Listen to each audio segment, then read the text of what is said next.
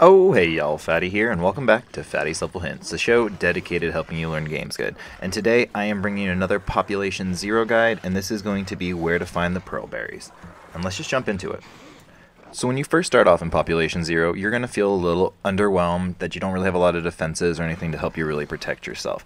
So the very first thing that you should really do is work on making your armor. Now with armor, you're going to need uh, just a couple things, and that's going to be leather um, that you can get from the Utes, the the little dog-looking kind of mini things running around, the prairie dog kind of guys. Uh, then you need sangria, which is kind of like the fiber that makes the rope of here. And then you're going to need pearl berries. Now, pearl berries is going to be the most difficult thing to get just because there are not a ton of areas where to find them. But luckily for you guys, I have found one golden spot where there are just a ton. You can literally get about 20 pearl berries in just a little circle in this tiny lake, and it is right against the hub, which makes this great.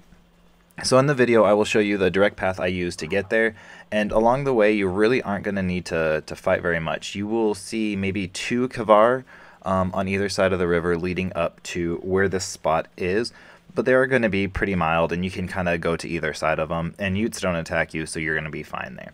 So the location is going to be considered in like the F12 bracket. So if you look in that box on the map, you will see like a lake there and within that lake just around the like outside of it, you're going to find several several spots for these pearl berries.